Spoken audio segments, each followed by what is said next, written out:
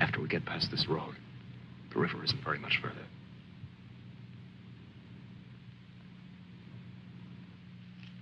Mac, get down to the road and take a look.